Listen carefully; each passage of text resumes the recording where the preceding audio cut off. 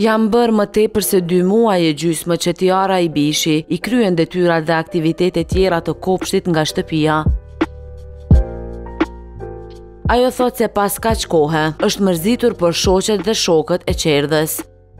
Kam kaluar tepër bukur me familjen time, me be ashtu ashtu, m'ka marrë malli për mësuesen, kam pas dëshir të ikë kjo sa ma shpejt për të shkoj te kopshti im.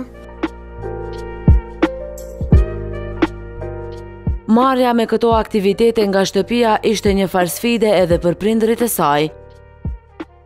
Nëna e Tiaras thotë se iu desh të shtojë në maksimum angazhimin. Ka qenë sfiduse, sidomos për fëmijët të cilët shkojnë në shkollë. Është dasht ma shumë të mirremi me fëmijë. Shembull, unë i kam dy vajza dhe vajza e madhe në klasën e parë është dashur tërë dita me shku me detyra, me aktivitete, mësimi online. Ë tani ka pas edhe detyra shtesë nga mësuesja e klasës. Po ashtu edhe vajzën e vogël e kam parashkollor në kopsht edhe këta kanë pas goxha aktivitete të shumta dhe tërë dita ka qenë sfiduese se është dasht m'u marrë njëherë me njërën njëherë me tjetrën.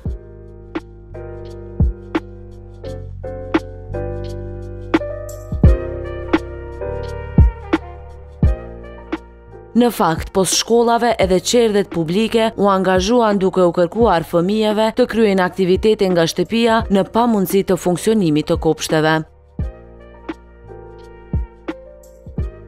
MASHT-i na e ka lehtësu punën në bashkëpunim me Save the Children dhe UNICEF, duke lansuar platformën edukimi i hershëm, domethënë apo edukimi në distancë. Dhe kemi shfrytëzu të gjitha aktivitetet të cilat shumicën e herave kanë qenë në përputhje dhe janë në fakt në përputhje me planet globale të cilat i hartojmë për secilat grupmosha, mandej ato i kemi realizu në bashkëpunim me prindër përmes platformave të ndryshme, përmes aplikacioneve të ndryshme, përmes telefonit, kështu që ende jemi në, që shtojnë, në rrjedha të kësaj procedure.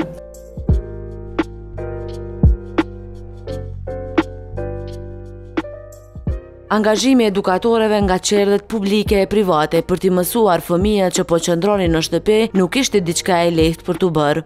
E mësuset u gëzun shumë e patë një vullnet t'mirë edhe qasja edhe prindët ashtu që u lidhën pak a shumë edhe prindët me mësuset edhe mësuset me Fëmijtë sidomos ju ka mungu shumë, fëmijtë ju kanë mungu mësuseve, kështu që ai njëfarë disponimi për ta kanë kalu një periudhë shumë të mirë. Ka qenë sigurisht pak e vështirë edhe për mësuset? Pak ka qenë e vështirë, e kuptohet, ka qenë sfidë sepse po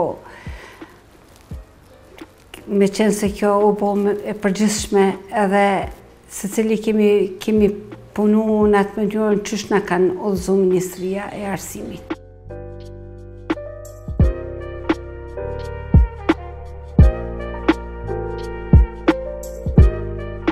E në kohën sa nuk punuan qerdhet publike e sigurisht edhe ato private, u dezinfektuan dhe pastruan në tërësi. Ato tashti janë gati të presin fëmijët, kurdo që qeveria vendos për kthimin e tyre në këto institucione parashkollore. Kopshtet ka gjasa të rihapen në fillim të qershorit kur nis edhe faza e tretë e lehtësimit të masave që ishin marrë për të parandaluar pandeminë COVID-19.